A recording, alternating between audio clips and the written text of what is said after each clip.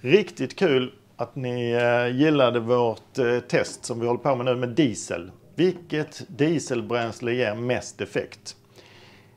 Ett sätt man kan mäta på eh, energiinnehåll i bränsle är vikten. Det råder lite delade meningar om det, men ofta så är det så i alla fall. Ett bränsle som väger mycket, det ger mycket effekt. Det har högt energiinnehåll. Så därför så har vi mätt upp de här bränslena. Eldningsoljan till exempel har vi en hydrometer, heter det. Och med den så mäter man vikten, densiteten på bränslet. Så här vid eh, 20 grader Celsius så väger eldningsoljan den väger 830 kilo per kubikmeter.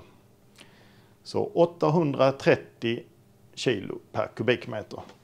Och tittar vi då på eh, vår blankdiesel, B0. Jag tänkte mig att den var ganska lik eldningsoljan. Men nej, så den väger endast 800 kilo. Alltså det skiljer 30 kilo per kubikmeter.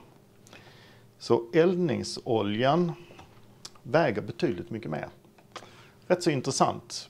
Kan det eh, göra skillnad? Kan vi se det sen när vi mäter effekten i eh, bromsbänken? Återstår att se. Vi har HVO. Eh, vad tror ni den väger? Ja, 780 kilo, så det är betydligt mycket mindre.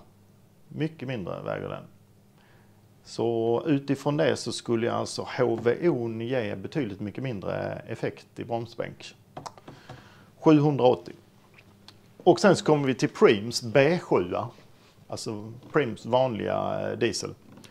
Ehm, och den väger 815. 815 kilo per kubikmeter.